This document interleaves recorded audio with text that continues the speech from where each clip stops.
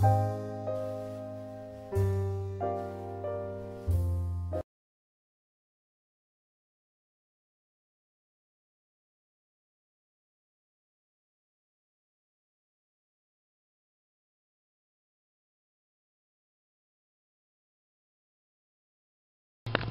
Hi everyone! Today I am doing a review slash tutorial for you guys on the one of the Wet n Wild color icon palettes and this is one of the holiday ones. Um, I'm doing, I'm reviewing um, Night Elf. That's this palette right here. And as you can see these are packaged up um, a little differently than the regular color icon palettes. I have all four of the original color icon palettes but um, they came out with four more limited edition ones for the holidays and I only actually picked up this one because this one had some of the more unique colors um, well at least unique to my collection and um, just really appealed to me the most. Um, in the original color icon palettes they usually come with three matte shades and then three shimmery shades um, and they all kind of have like a same kind of like color story per palette, like either blues or purples or neutrals or what have you. Um, this one actually, they're all shimmers with one glittery shade, but these are all frosty shades pretty much. And um, I think the color story here is pretty much um, holiday, smoky eye um, kind of thing. So it comes in this big plastic box. Um, and it tells you here that it's called the Night Elf palette and that it's from the um, holiday, you know, limited edition, edition collection. I'm actually wearing this palette on my eyes right now, and after this review, I'm going to show you guys a tutorial on how I got this look. It's a really pretty holiday look. Um, so let me just pull out of the packaging again. And another difference is that these cost the same as the regular color icon, color icon palettes. They're normally, I think, $4.99 um, and I got mine at Walgreens, except they come with a um, eyeliner pencil. I haven't used this, um, but I've heard that they're okay, so, you know, it comes with this one. And this one is like a black glittery, um, or a black shimmer pencil. And here are the shadows, which is why we buy these. Um, so here we go. They come with all these shades. It comes with a light um, gold highlight, this antique gold color, this um, red brown with um, teal shimmer, which is supposed to be like MAC's Club. I don't own that, but people say that this is a dupe for that. This is just a shimmery black, this beautiful shimmery bright Christmas red color, and then this light um, shimmery silver color.